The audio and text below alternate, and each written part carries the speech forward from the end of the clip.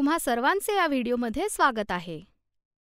आपण आपल्या मागील व्हिडिओमध्ये पाहिले की कशाप्रकारे राजने काटकोन त्रिकोणाच्या मदतीने पंचेचाळीस अंश कोनाची त्रिकोणमितीय गुणोत्तरे शोधली होती.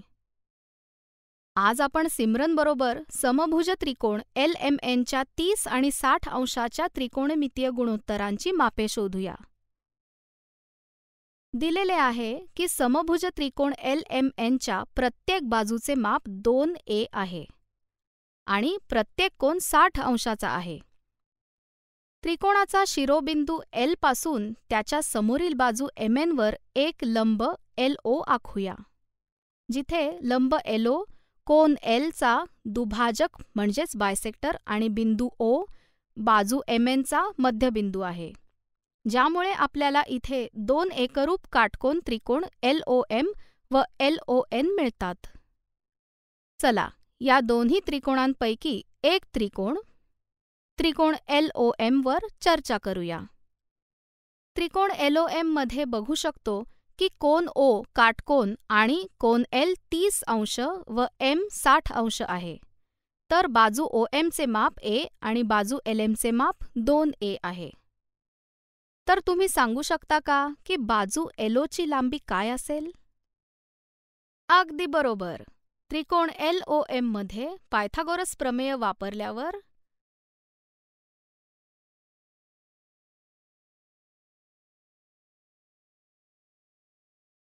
बाजू एलो जो लंब आहे ज्याची लांबी ए वर्गमुळात तीन प्राप्त होते. तर चला सर्वात आधी तीस अंश कोनाच्या त्रिकोणमितीय गुणोत्तरांबद्दल जाणून घेऊ. काटकोन त्रिकोण एल ओ एमने साईन तीस अंशाचे मूल्य कोन एलची समोरील बाजू व कर्णाच्या गुणोत्तरा समान असेल. जे सोडविल्यावर साईन तीस अंशाचे मूल्य एक छेद दोन प्राप्त होते. तर तुम्ही सांगू शकता का? की कॉस तीस अंशाचे मूल्य काय असेल? शाब्बास कोन एलची लगतची बाजू व कर्णाचे गुणोत्तर शोधूया. जे सोडविल्यावर वर्गमुळात तीन छेद दोन प्राप्त होतात. अशा प्रकारे टॅन कोसेक सेक आणि कॉट तीस अंशाच्या त्रिकोणमितीय गुणोत्तरांचे मूल्य मिळते.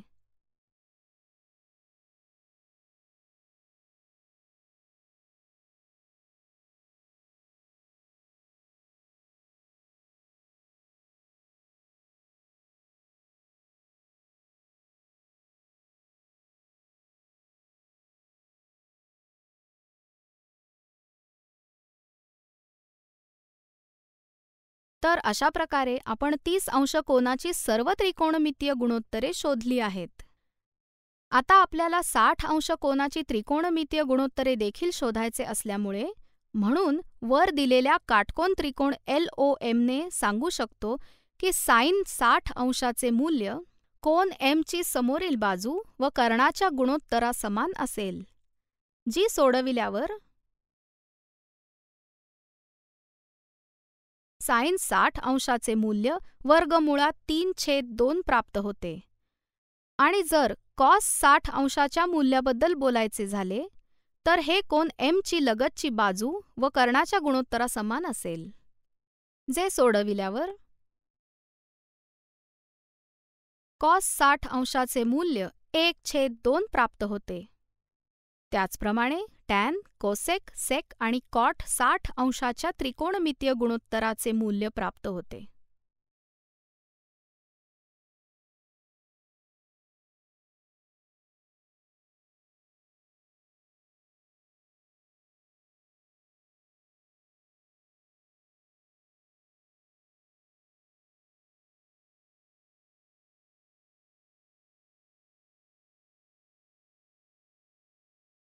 जे खालील सारणीद्वारे दर्शवितात.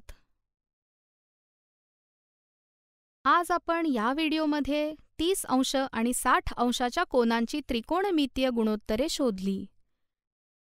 पुढील व्हिडिओमध्ये आपण पाहूया कशाप्रकारे राहुल शून्य अंश आणि नव्वद अंशाची त्रिकोणमितीय गुणोत्तरे शोधेल.